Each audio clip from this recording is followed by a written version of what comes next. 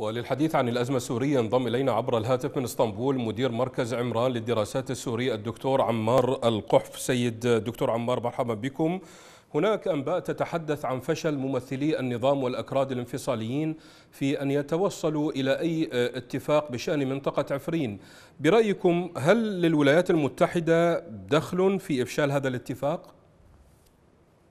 باعتقادي أن منطقة عفرين هي خارج منطقة الاهتمام الأمريكي وهي أقرب إلى الجانب الاهتمام الروسي وبالتالي من يحاول أن يعطل الآن هو الجانب الإيراني بشكل محدد في عفرين من خلال تدخله العسكري ودعمه للميليشيات وحدات حماية الشعب.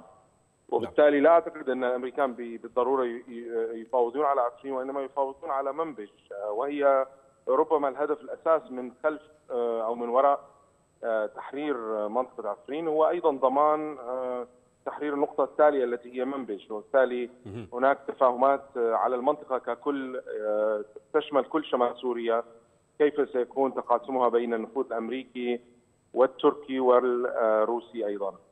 دكتور عمار يعني لو تحدثنا عن نتائج الضربة الجوية الأمريكية التي طالت القوات الروسية برأيكم هل سترسم محددات أو محددات المواجهات في سوريا سواء في منطقة في مناطق التماس؟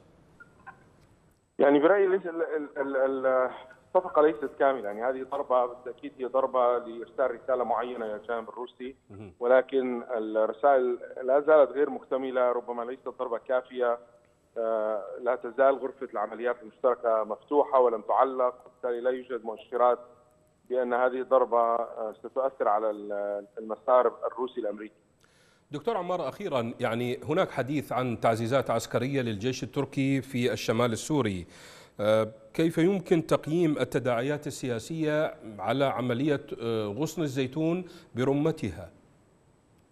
يعني هو واضح جدا هناك معارضة إيرانية الدخول في عفرين وهم يحاولون أن يدعموا بالأسلحة وبالسياسات التي يتخذونها في الشمال السوري سواء كان في عفرين أو في إدلب من خلال تقدمهم على مناطق جنوب إدلب. وبالتالي يحاول الإيرانيون الآن مزاحمة النفوذ التركي. وهذا ما يحاول الأتراك التسريع بما تم الاتفاق عليه في اجتماع الاستانه الأخير.